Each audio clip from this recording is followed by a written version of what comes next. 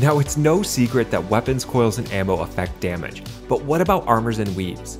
There's two skills in particular that we can focus on here, low health and stealth. Let's take a look at low health first, and in particular the low health ranged skill. Through armors like the Tenakth Vanquisher and weaves like the low health ranged weave, we can max out the low health range skill at level 4, which will give us an 80% damage boost when our health is below 50%. And the best way to make sure that your health is below 50% before heading into battle is, well... Sorry, Aloy. And in the next video, we'll take a look at how stealth and low health can work together.